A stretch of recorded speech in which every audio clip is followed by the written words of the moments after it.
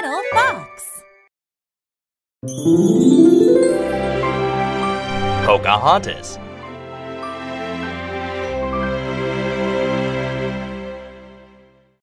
Over 400 years ago, there was a young girl named Matoaka. Matoaka was a Native American whose father was the chief of the Powhatan tribe. She was funny and very curious and clever. Her nickname was Pocahontas, which means playful. Pocahontas and the other Powhatans lived in what we now call the state of Virginia. When Pocahontas was a young girl, many settlers from England came to her country. As she watched their ships arrive, she told her friend how wonderful she thought they looked. Look at those huge sailing ships. They are amazing, she said. I think they are scary looking. I don't like them, said her friend.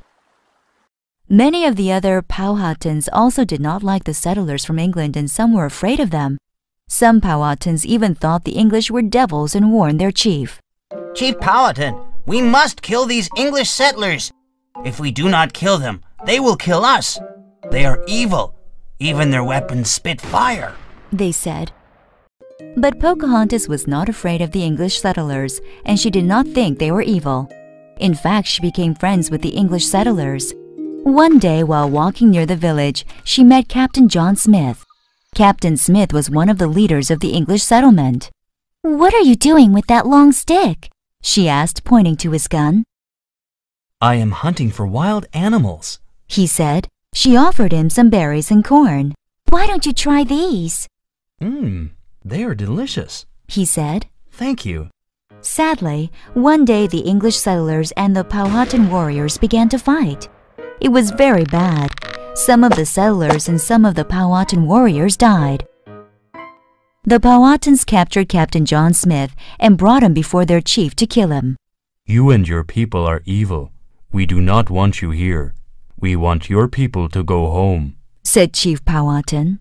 No, father, cried Pocahontas. Do not kill him. He is my friend. He is not evil, and his people are not evil. They can be our friends. Pocahontas convinced her father to let Captain Smith return to his people. After that, Pocahontas became very good friends with the settlers and helped make peace between them and the Powhatans. A few years later, Captain Smith returned to England. After Captain Smith left, the settlers and the Powhatans began to fight again. Soon, Pocahontas had no friends among the settlers. Then one day, Pocahontas was captured by the new captain. Chief Powhatan sent a messenger to rescue his daughter. Tell Powhatan that, if he wants to have his daughter back, he must agree to live in peace. The captain told the messenger. The Powhatans must never again attack this settlement.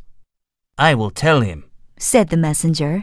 As a prisoner, Pocahontas was treated very well. She was given a nice house to live in, good clothing, and plenty of food. She was also given many books to read. Pocahontas enjoyed living with the settlers. One day she had a visitor. My name is John Rolfe. I hope that you are comfortable here, Pocahontas, he said. Yes, I am very comfortable. I enjoy reading these books, replied Pocahontas. I have many other interesting books. May I bring some to you? Yes, please. That would be wonderful, she said. John Rolfe was a successful businessman. He had a nice house in the settlement. He was young and handsome, but he was not married. He and Pocahontas became very good friends. They met often and soon they fell in love. Would you like to go for a walk, John? She asked one day. Yes, that would be nice. Let's go for a walk by the river, he suggested. That day, by the water's edge, Pocahontas and John Rolfe decided to get married. A meeting was set up between Chief Powhatan and John Rolfe. Powhatan, John began. I love your daughter, and I would like to marry her.